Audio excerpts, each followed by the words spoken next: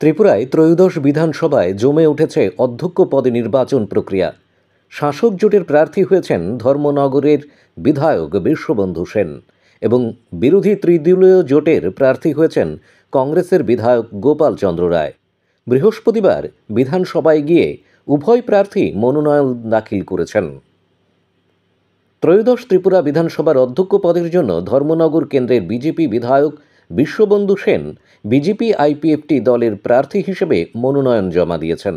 মনোনয়ন জমা দেওয়ার সময় রাজ্য মন্ত্রিসভার একাধিক সদস্য, সদস্যা এবং বিধায়করা উপস্থিত ছিলেন।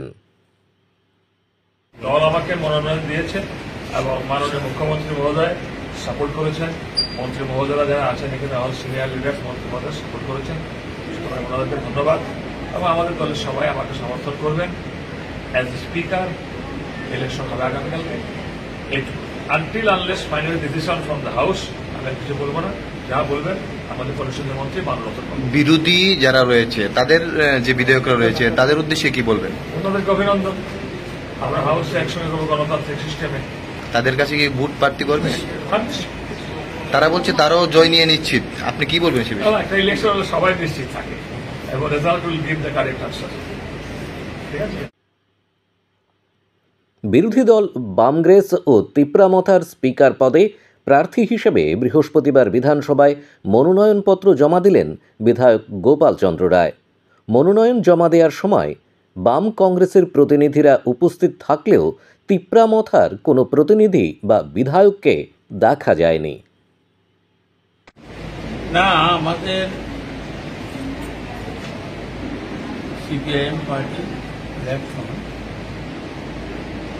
ফ্রন্ট ব্রাহ্মতা পার্টি কংগ্রেস সবাই মিলে সিদ্ধান্ত নিয়ে আমার নামটা সবাই সিদ্ধান্ত নিয়েছে। আজকে আমি এসেছি জিতেনবাবু এসছেন দিলীপবাবু সুদীপবাবু আমরা এসে জমা করি কি আশার কি জয় নিয়ে কতটুকু? দেখুন যে কোনো প্রার্থী যখন হয় জয়ের আশা নিয়ে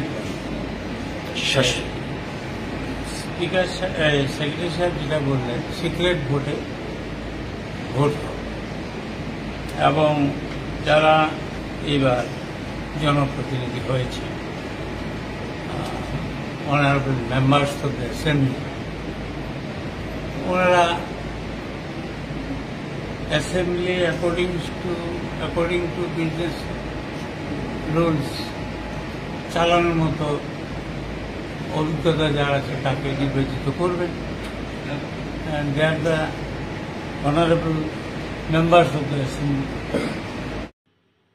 এদিকে শাসক দলের হয়ে বিধানসভায় স্পিকার পদে বিধায়ক বিশ্ববন্ধু সেনের মনোনয়ন জমা দেওয়ার পর সাংবাদিকদের মুখোমুখি হয়ে সংসদীয় মন্ত্রী রতনলাল নাথ নাম না করে কংগ্রেস বিধায়ক সুদীপ রায় বর্মনকে নিশানা করে বলেন, তিনি ইংরেজি জানলেও অঙ্কে কাঁচা।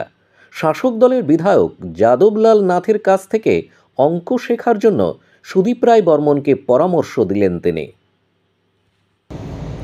আমরা সবাইকে বলব, যারা আছে, ষাটজন বিধানসভা সদস্য, সবাইকে বলব যে আমাদের প্রার্থী যিনি, উনি অভিজ্ঞ এবং দীর্ঘদিন ধরে বিধানসভায় রয়েছে। এর আগে উপাধ্যক্ষ ছিলেন, সুতরাং ওনার অভিজ্ঞতা আপনারা দেখেছেন সুতরাং সবাইকে অনুরোধ করব, সবাই যেন ওনাকে ভোট প্রদান করে। বিরোধীরা কি বলছে? বিরোধীরা বলছিল, কেউ কেউ আমার জনৈক সদস্য আলবিদা পলিটিক্স বলেছে, Bharatiya Janata party double digit পার করতে পারবে না। উনি হতে হতে পারে ইংরেজিতে এক্সপার্ট কিন্তু ম্যাথমেটিক্সে উনি খুব কাঁচা আমি অনুরোধ করব ওনাকে, আমাদের যাদববাবু থেকে যেন অঙ্কটা শিখে নেয়। এবং এবং রাজনীতির রসায়ন কি, এই জিনিসটা আমাদের যাদবলাল নাথ ভালো বোঝে। তো ওনার সাথে কিছু কোচিং নেওয়া দরকার। ঠিকই তো? বিজেপি কিন্তু মেজরিটি পেয়েছে। ওনার দলটা সিঙ্গেল ডিজিটে হয়ে গেছে। তো সবাইকে বলব বিশেষ করে সবচেয়ে সেকেন্ড পার্টি যেটা বর্তমানে যারা অপোজিশন পার্টি মেইনলি ত্রিপুরা মাতার সুপ্রিমো এবং দল, মাতার যারা সদস্য সদস্য রয়েছেন সবাইকে অনুরোধ করব আমাদের প্রার্থীকে ভোট দেওয়ার জন্য।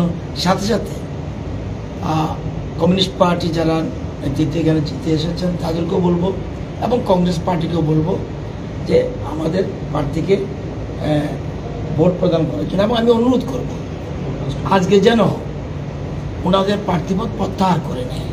এটা গণতন্ত্রের জন্য ভালো হবে। বিধানসভায় শাসক দল, বিরোধী দল থাকবে এবং এটা আলোচনা করে রাজ্যের উন্নয়নে আমরা সবাই মিলে কাজ করতে হবে।